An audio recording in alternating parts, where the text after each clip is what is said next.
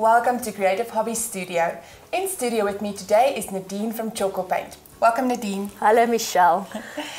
Tell me about your sealants because Choco is actually an already sealed product. What are the exceptions? When do we use the sealants that you have?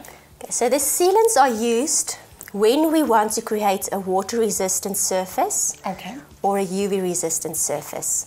So we recommend when you paint, for instance, your bathroom wall tiles, to rather seal it with a glaze because it's an area that receives moisture and heat, okay. um, as well as outside or in your kitchen. It's very easy to use and it's water based, okay. so it's safe. None of our products are toxic. So it's, it's all convenient to use for the kiddies around the house. Absolutely. Great. Can you show me how to use the glaze? So it's quite simple. You need a clean cloth. Okay. You need to dip this cloth in your glaze. So obviously when you're doing larger surfaces, we will pour the glaze out into something bigger. Okay.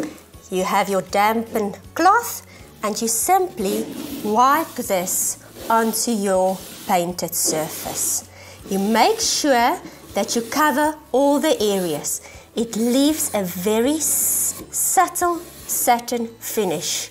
Your paint does need to be dry for at least four hours before you start glazing. Okay. The paint doesn't take that long to dry, but there's a chemical process still happening, so the paint needs to grip properly on the surface before you start glazing. Okay. And this is done. Very quick and easy. Quick and easy and very convenient. This one is still dry, uh, still wet. But do you have a dry one? Yes. So this bucket has already been sealed with a glaze. So you can see it's a very satin, durable finish, not too satin though. Okay. You can dilute the glaze. Okay. The 250 ml with 50 ml of water yes. to create a less satin finish. Okay.